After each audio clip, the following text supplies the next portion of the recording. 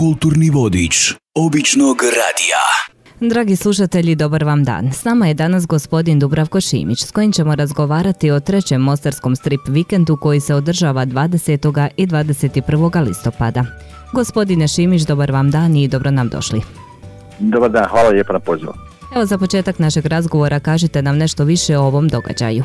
Dakle, udruga Most Strip i ove godine organizira strip vikend u Mostaru, već treći put za redom. Dolaze nam 12 gostiju, imat ćemo kao i prošle godine izložbe i tribine i crtanje, imat ćemo i berzu stripa, sa nama će biti naši dragi prijatelji maketari, a i bit će i štand uh, udruge Rostro Sales sa svojim uh, rukotvorima koji su, rukotvorinama koji su zaradili njihovi štićenici. Nadamo se da će biti dobra posjeta kao i prethodnih godina jer imamo zaista, zaista zanimljivih stvari za vidjeti. Možete li nam nabrojati zapravo neke od gostiju koji će gostovati? Naravno, naravno.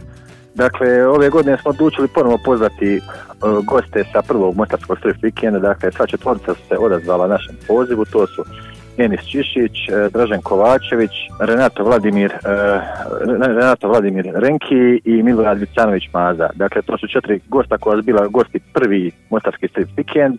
Mi smo se s njima toliko sprijateljili da ih zovemo svake godine. Evo ove godine su opet odlučili doći kod nas. Pored njih u dolaze iz Italije Paolo Bizi, Pascale Frisenda, Claudio Castellini, e, imamo još jednog stranog gosta iz Irske, to je William Simpson, čovjek koji je radio kao storyboarder e, na Game of Thrones popularne seriji, planetarno popularne seriji. Pored njih iz Srbije dolazi Leonid Filipović Leo, e, Aleksa Gajić, iz Crne Gore nam dolazi Luka Cakić, iz Bosne i Hercegovine također nam dolazi Filip e, Andronik. Dakle, za svakoga ponešto tu imamo raznih vrsta crtača razni, raznih škola, sudio bi se reći stripa, od e, francuske, belgijske, američke, tako da će svako ko voli ovu vrstu umjetnosti sigurno imati nekog svog kandidata od kojeg bi voli uzeti crtež ili potpis ili popričati malo sa njim. Evo i za kraj našeg razgovora imate li neku poruku za naše slušatelje možda da ih pozovete da vam se pridruže na ovom događaju? Naravno, znači